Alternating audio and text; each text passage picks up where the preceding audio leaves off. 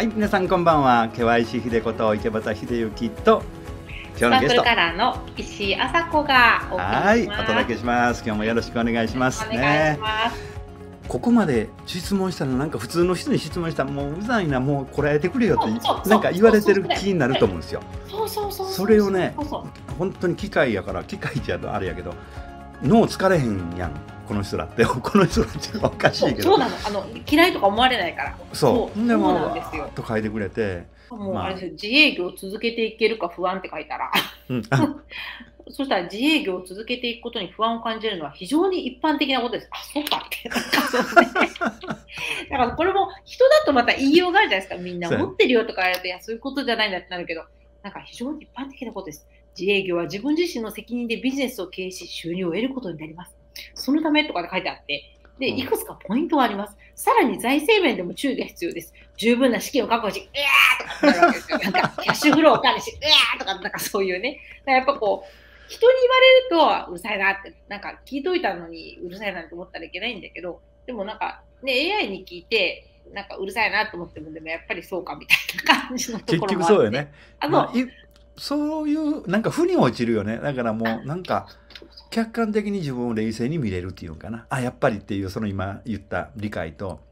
あ。みんながそうなんだっていうこのデータの量が半端ないから、ね、そうですよね。うんそうそうそうそうそうで、なんか常に優しい。あ、私もね、実はあれなんですよ。その、夫と今度デートするのに、あの、うんおすすめのお店を教えてとかっていうふうに書いた。で、やっぱりヒデさんみたいに、もうすっかり嬉しくなっちゃって、あの、ありがとうございますとか書いたんですよね。返事で。そしたら、どういたしまして、お役に立てて嬉しいです。ランチデートが素敵なものになりますようにって言われて、なんか他の質問思いついたんだけど、なんかもう聞きにくくなっちゃって、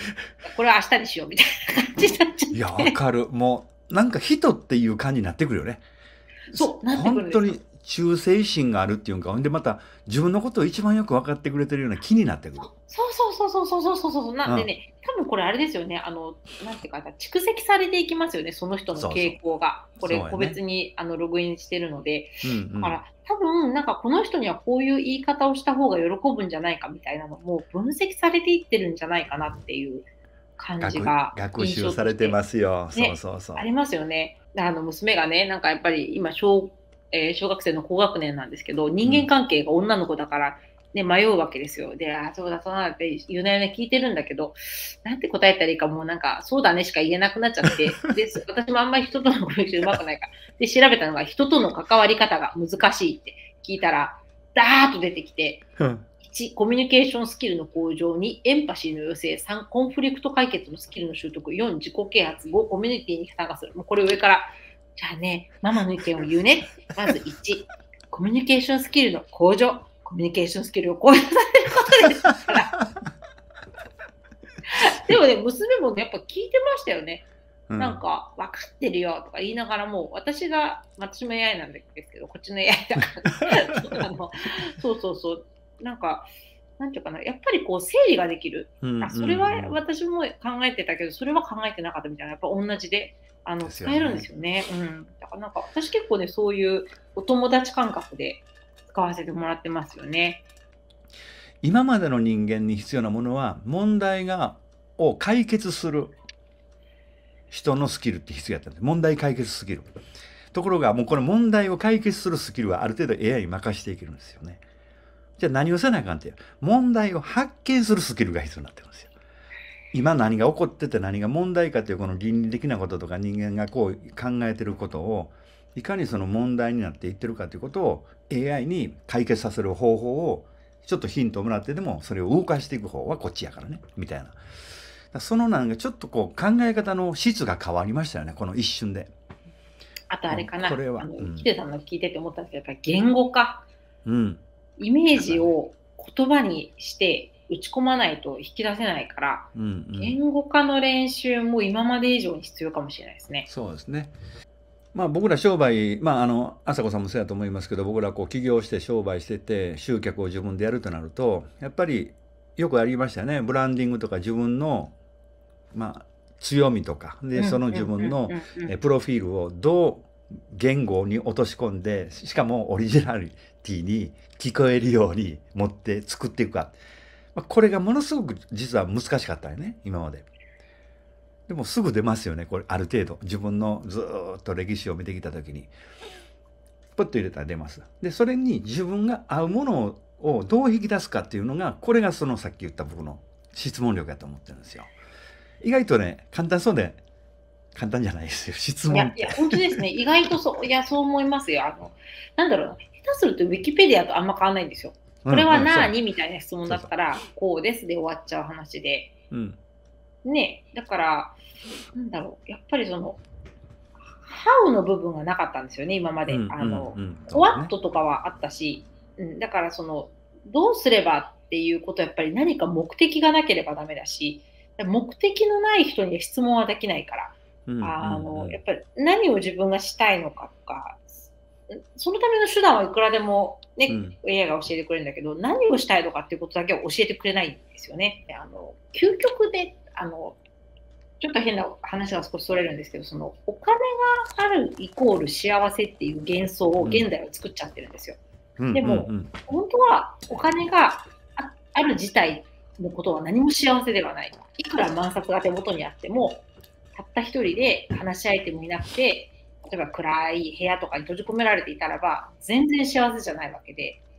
で、なんかそこを結構あの現代人ってすごい踊らされて、お金さえあれば幸せになるんだっていうところにおいて、まさにさっきのその前頭葉が死んで、うん金がないからダメなんだっていう発想になりがちで、で、例えばその年金があれば生きていける。でも生きていくときに、ただ生きていればいいのかっていうところじゃないですかね。で、なんか、なんだろうな、結局本質的なところに戻っていくんだけど、やっぱりその、自分自身が何が好きで何が喜びなのかっていうところを、あの人のせいにせずに探そうとする、なんて言うんだろうな、気持ちみたいなのが、もうそこしかないですよね、その分岐点って。頭の良し悪しとかじゃなくて。うん、お金をいっぱい稼いでいっぱい使うとすごい大きな幸せが来るっていうこと自体がちょっと実は幻想、そのために働けって言われているようなところがあって、うん。もちろん海外の美しい景色とかっていうのを見ることによる感動っていうのはお金がないと実現できないことなんだけど、ね、ヒデさんとか多分そういうとこあると思うんですあの夕焼けが綺麗だったとかですね、今日朝起きた時の空がすごく綺麗だったとか、そういうところって実はお金が1円もかからないんだけど、なんかそこをそのお金がないと幸せになれないっていう意識が強くなりすぎて前頭葉が死ぬと、うん。そういうことに気づけなくなるんですよね。うん。うん。うん。だからななんていうんだろうな、ちょっとね、考え方のね、軸をね、これはずれてしまったのか、変な言い方だけど、誰かに都合のいいようにずらされてしまったのか、うんうんでもなんかね、その結果、やっぱ今みたいなその二極化が起こるベースがね、できてる気がすごいちょっと今うん。してますよね。で、そもそも今回ね、このライブをね、やるきっかけもね、ヒデさんのあの奥様が、うん。もう毎回、あんまり可愛いわけですよ、インスタのストーリーって。で、でなんかね、これはあのお世辞でもなんでもなくて、やっぱり、その、なんですごい可愛いって思うかっていうと、写真ってね、撮り手の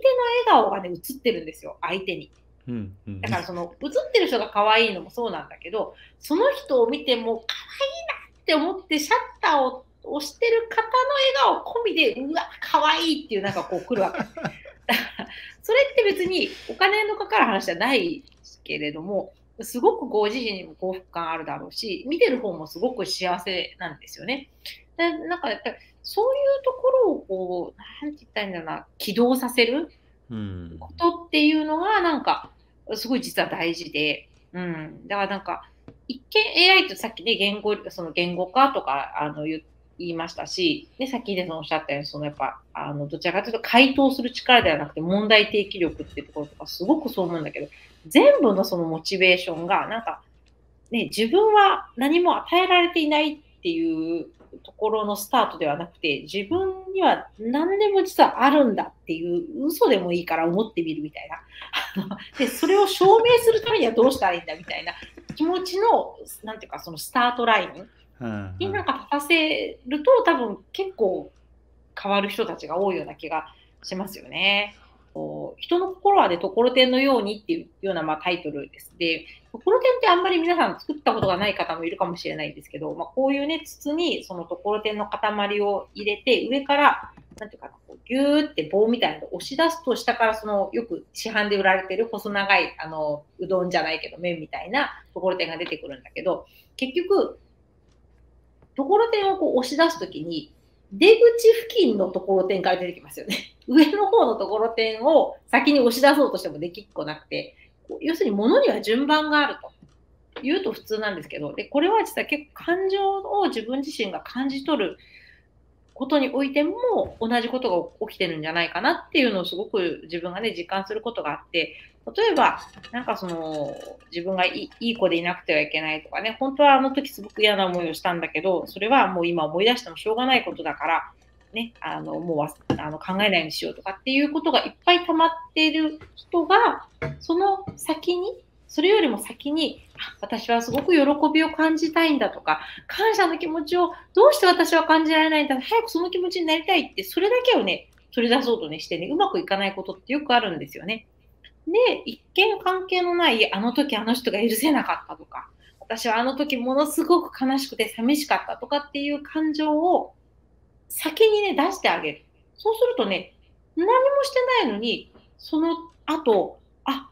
私なんか今日すごく楽しい気持ちになれてるなとか、あ、こんなことしてくれてたんだ、嬉しい。あ、今感謝できてるっていうふうになんかね、なるんですよね。あの、本当ね、割とシンプルなんですよね。その人の心の仕組みって、と思っていて。まあなんかあんまりなんでそういうことを思ったかっていう具体的にはちょっとあれなんだけど、あの、まあ私自身すごく恵まれた人生をずっと長年送ってきていたんだけど、なんかね、こんなに幸せなのに対して幸せじゃないっていつも思ってて、あの、それは幸せじゃないっておかしいんですけど、嬉しくもないし楽しくもないと。でも完璧に幸せであると他人から見たらね。何なんだろう、この感覚はっていうことがあったんだけれども、なんかやっぱりその中にはすごく我慢してきたこととか、すごく嫌だけど、もう言ってもしょうがないと思ってたこととか、そういうのをね、この数年ね、いっぱい引っ張り出したんですよね。それはもう圧力も出ますよね。それまで、あ、わかりましたって言ったら、ちょっと嫌ですね、とかって言ったら、え？ー、だって、ね、もう今まで、いや、いいですよ、わかりましたって言う人だと思って、ね、あの、相手はそうやって言ってくるのに、突然、とから、え、ダメなの？ってなって、しかも理由がね、ちょっとあんまやりたくないんで、って言ったら、やりたくないんで、えー、みたいになるじゃないですかね。で、で当然そういうふうにして、ダメになったこともあるんですよね。な何か関係がね。だけど、なんかそうやって失うものも適適切に失っていって、そしたらね、なんかね、ちゃんと嬉しい時嬉しいと思えるようになったし、あ、すごい楽しいな、今私楽しいと思ってるってね、思ったり、あ、WBC もそうだったんだけど、なんかね、だからね、本当感情ってこう、何かが落ちたら何かがなるっていうその関係性は、ね、時にこんがらがってる部分もあるかもしれないんだけど、意外と単なるこう順番のようになっていて、ちゃんとこの下の方にあるものを出してあげて、あるよね、嫌だったよね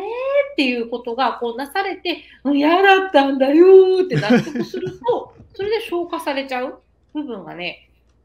結構あるような気がしてね。うん。でなんかね、あの、私のブログに本当話題を振ってくださってありがとうございます。いやいやなんか、そう、うん。そういうところが結構あの、の後々に先ほど言った、その自分が生きるっていうことに対して期待感をね、持てるようになることのきっかけにはね、なっていく。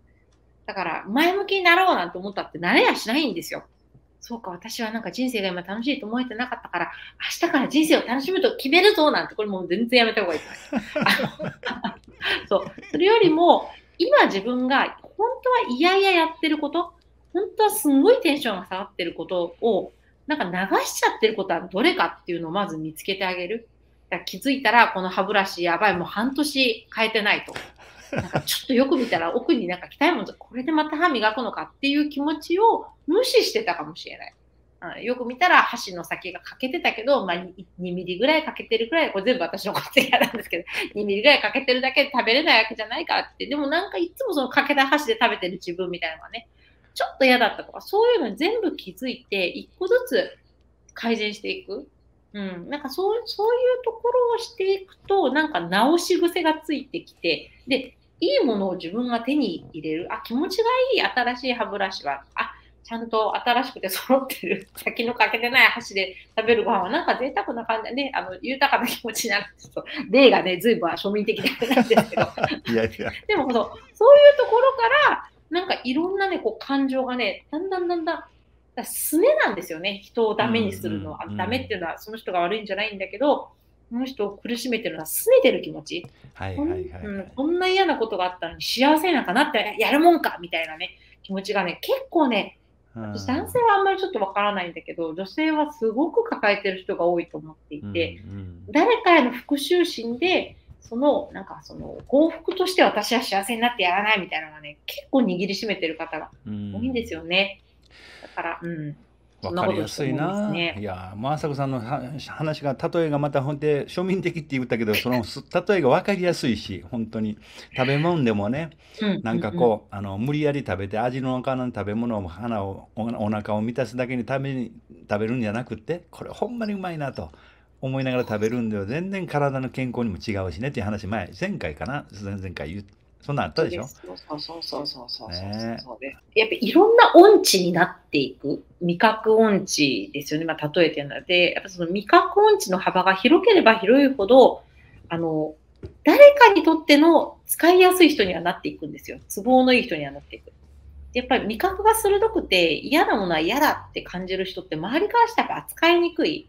でそれをそのそんなんじゃ社会人としてダメだよとかいう言葉に負けて味覚音痴になっていくと周りの人からすごく大好きあなたと入れるとすごく楽になるなんて話になるんだけどもうそんなんだったらもうそれこそロボットにやらせればいいんですよその役割を。あなたが生きてる意味は、あなたの味覚があることだからっていうところに結局ね、まあ、いつも同じ話になっちゃうんですけど、やっぱり戻ってくるから。で、でも、すごいありがたいことに、そうなった時に、今、味方がまさかの人じゃなくてこれ、お金が、まあね、ヒデさんぐらいのちゃんとしたものであれば、ある程度のお金はかかりますけど、無料のチャット GPT だって、相談に乗ってくれるんですよ。ただ、まあ、打つ力と、多少言葉にする力は必要だけど、なかなかね、そういう意味では、本当にきっかけをちゃんと得られたら、さっき二分化していく人たちの一部の人たちは、その楽し人生を楽しめる方向に、あの舵をね、切れるチャンスにはなるのかなっていうふうにちょっと思いますよね。それではご覧の皆さん、はい長いこと見ていただいてありがとうございました。明日日曜日ね、雨ですけども気をつけてくださいね。楽しんでください。はいはい、おやすみなさい。ありがとうございます。